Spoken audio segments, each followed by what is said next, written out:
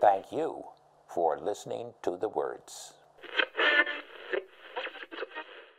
Glad you could tune in this week's encore of Listening to the Words, Program 84, first aired on October 8th, 2012. You're going to hear words from and about people of an age and what they can do with their brains and hearts. First, you'll hear an article about some advantages of growing old. It's titled Wise Up.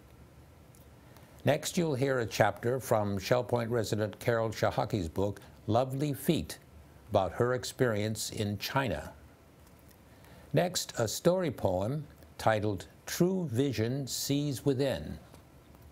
Then we'll listen to Steve Hartman's story On the Road with a 90 year old. Next, an article from Florida Weekly about how those vinyl records remain popular.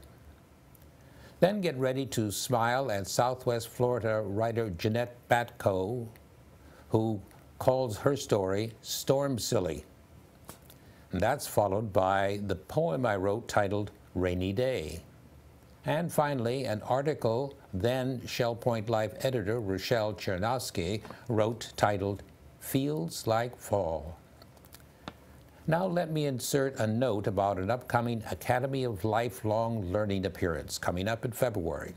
It's by critically acclaimed Sanibel author Charles Sobczak, from whose far-reaching books I have been reading on listening to the words.